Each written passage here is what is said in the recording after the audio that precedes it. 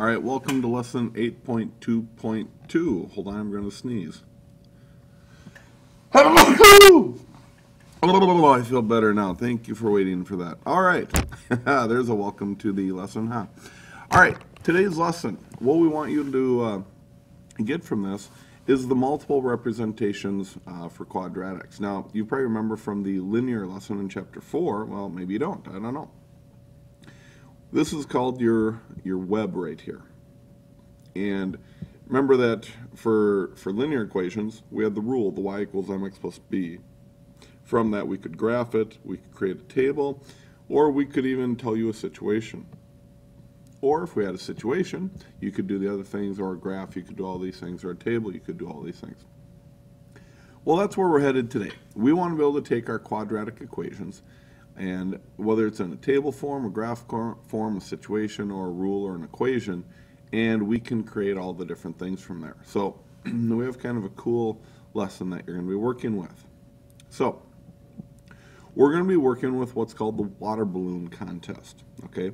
And you're going to notice that there's going to be uh, charts like this and you're going to have to be graphing different things and you're going to have to be making XY charts for each of these different things. So before I kind of get into the problem, let me move you to the resource page that you should have graph paper on and you should be copying down these things. So I'll tell you what to copy down and here is your resource page.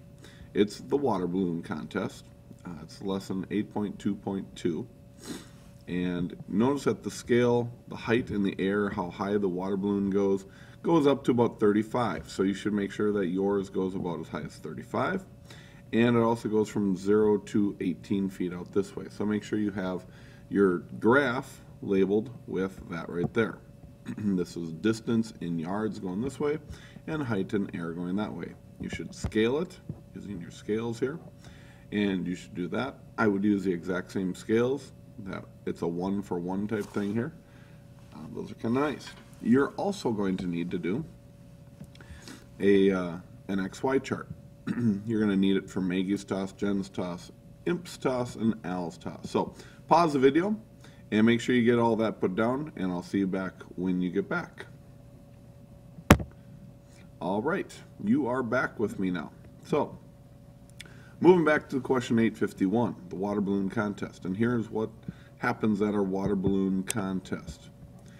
Every year at Newton High School, they hold a water balloon contest that during the halftime of the homecoming game, each contestant uses a catapult to launch a water balloon from the ground onto the football field.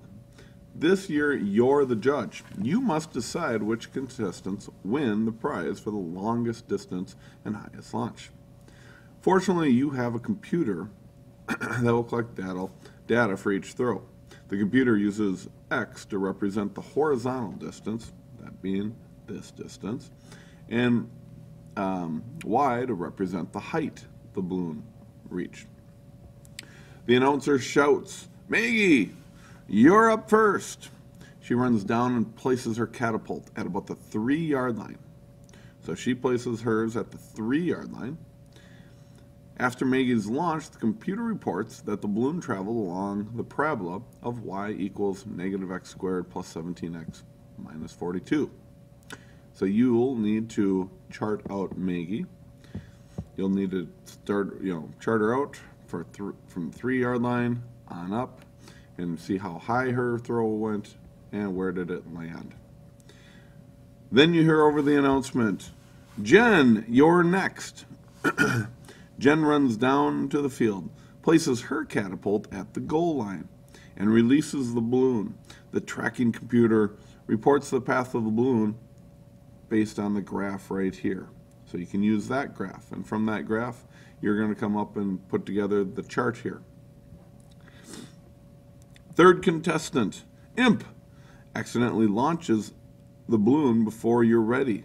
The balloon's launch the balloon launches. You hear the roar, or the roar of the crowd. Turn around and splat. The balloon soaks your computer.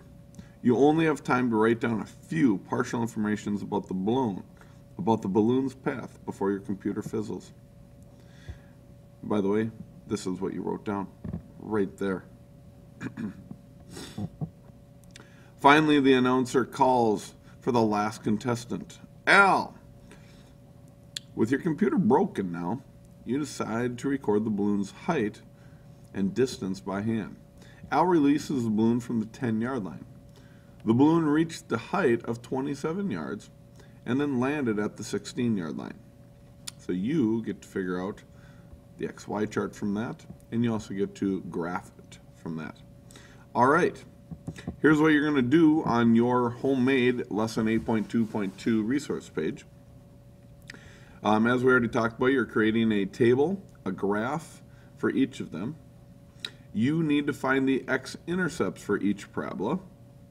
Um, and then hopefully you can start to figure out what do those x-intercepts tell you. I want you to also find the vertex of each parabola. Vertex, remember, is the highest point that it reached. What are the coordinates of the highest point where it reached? what information does the vertex tell you about each balloon throw? So, you're going to be calculating out all that information and filling out the graphs, filling out this.